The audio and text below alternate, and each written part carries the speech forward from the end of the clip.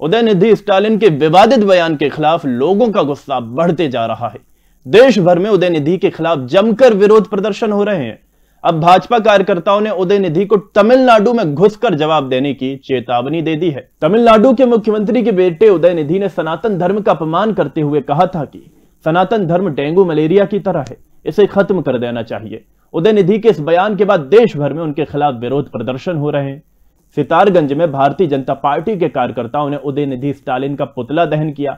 इस मौके पर भाजपा युवा मोर्चा के मंडल अध्यक्ष नवीन भट्ट ने उदयनिधि को चेतावनी देते हुए कहा कि इस मौके पर भाजपा युवा मोर्चा के मंडल अध्यक्ष नवीन भट्ट ने उदयनिधि को चेतावनी देते हुए कहा कि सनातन धर्म को लेकर अगर दोबारा कोई टिप्पणी होती है तो उदयनिधि को तमिलनाडु में घुसकर जवाब दिया जाएगा।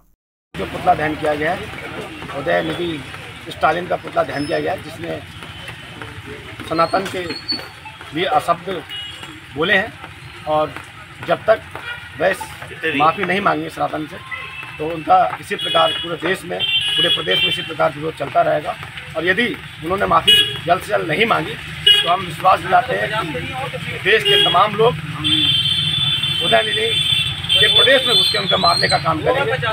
मुख्यमंत्री के कुपुत्र उदय निधि ने जो सनातन धर्म पर अभद्र टिप्पणी करी है उसके खिलाफ आज भाजपा युवा मोर्चा सितारगंज के द्वारा उदय निधि का पुतला दहन किया गया। सर्वप्रथम हमने शव यात्रा निकाली, उसकी, उसके बाद पुतला दहन किया गया है।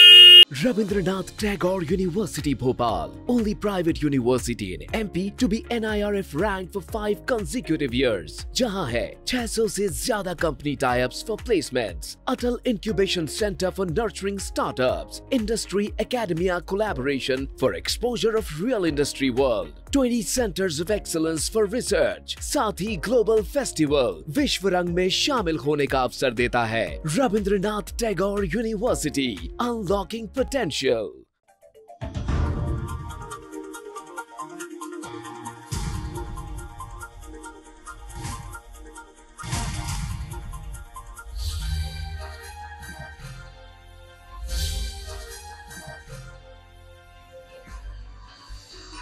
आप देख रहे हैं दखल न्यूज़।